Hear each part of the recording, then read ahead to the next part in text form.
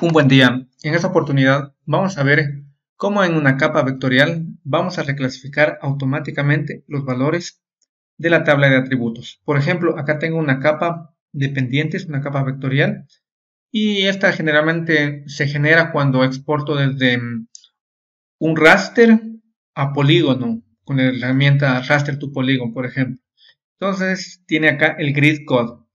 Por ejemplo, Acá yo quiero decirle que todos los valores inferiores a 3 en esta categoría del campo grid code me les ponga como muy bajo o como plano por decir.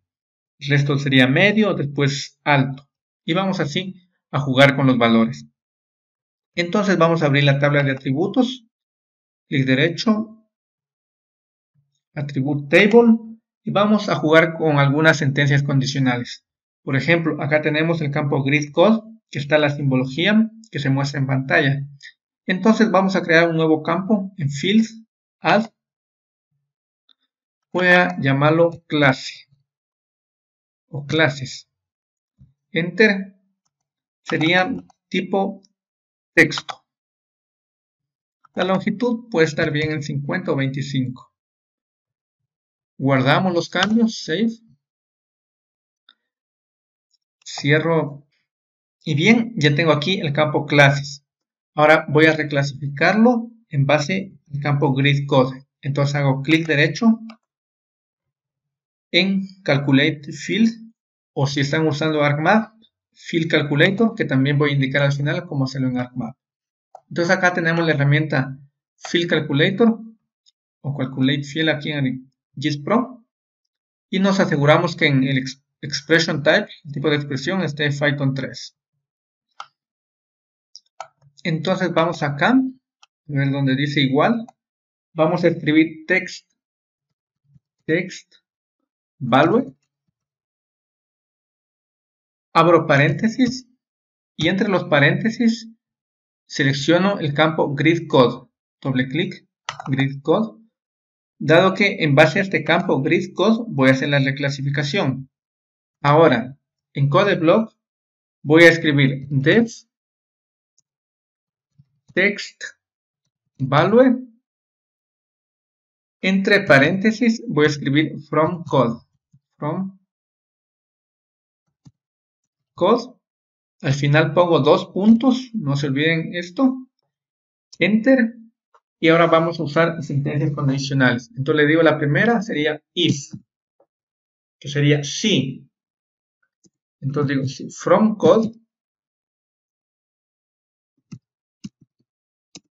es menor a 3, por favor, dos puntos, enter, escribimos return,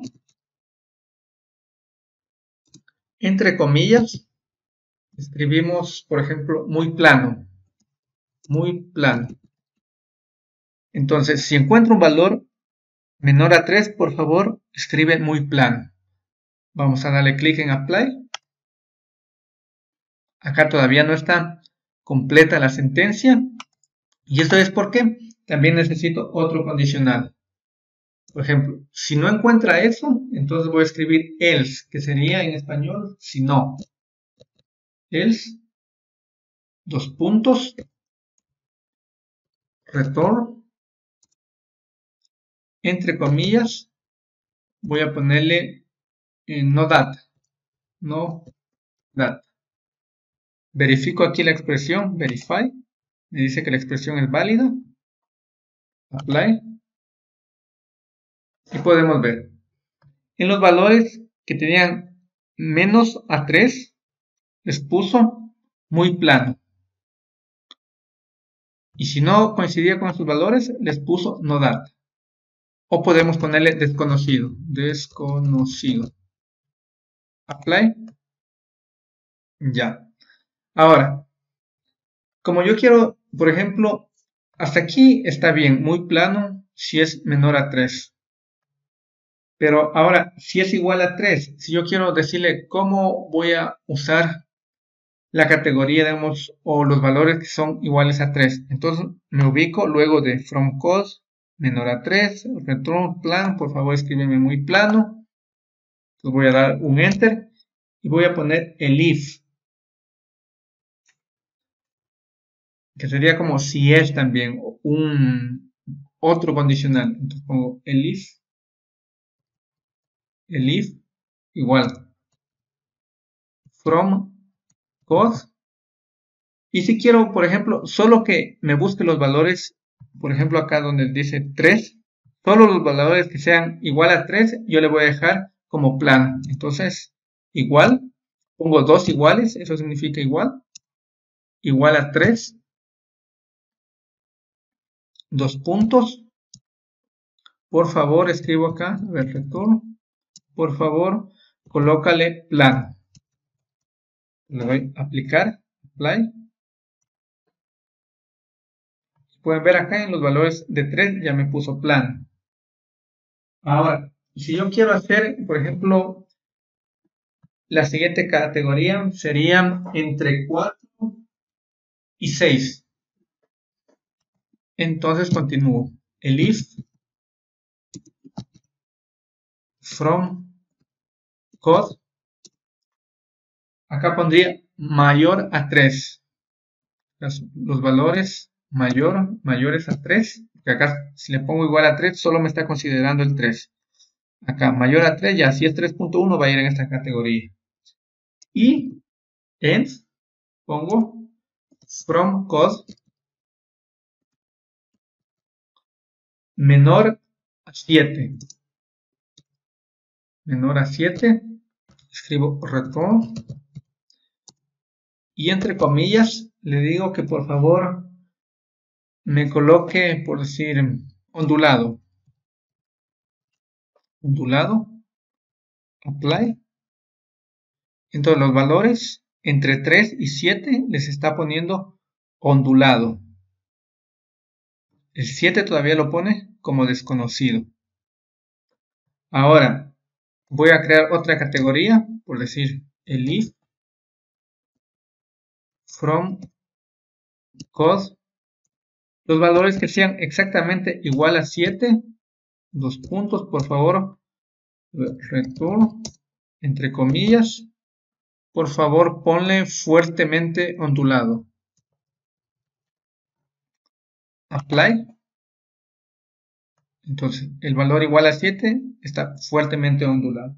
Y voy a hacer una última categoría, por ejemplo, entre, sería el if from code, serían los valores entre 8, jugamos los valores entre 8 y 10.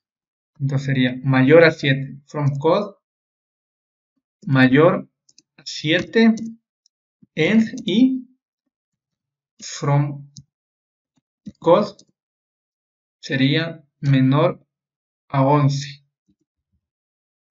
Dos puntos, enter, return, entre comillas.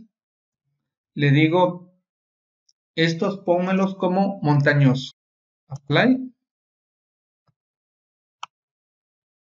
Y listo, ya tenemos reclasificado. Ahora en la simbología, acá en Fill, el campo estoy usando Grid Code. Ahora si cambio a clases, ya tenemos las nuevas clases con la reclasificación que hemos usado en este momento.